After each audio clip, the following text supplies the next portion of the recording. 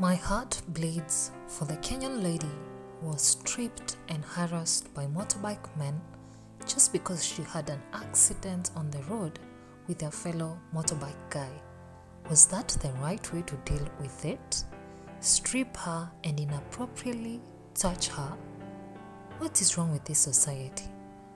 You realize how much trauma she's now left with. Has perversion gotten to the point where women are sexualized even in unrelated matters? Her screams alone left me in so much sadness.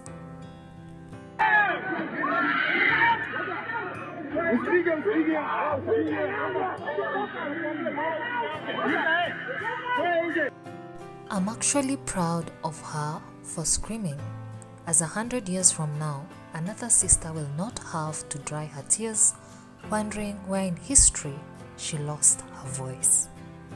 The abuse of women and girls is the most persuasive undressed human rights violation on earth.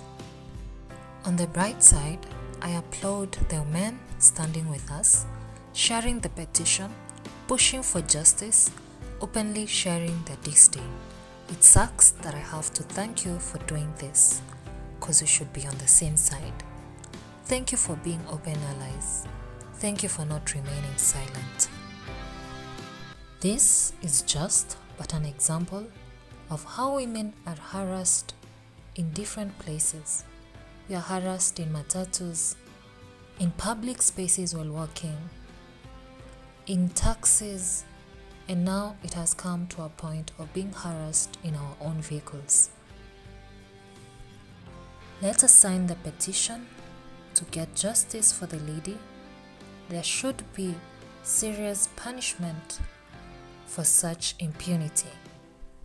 There is a law and protocol when you hit someone on the road, and stripping is not one of them.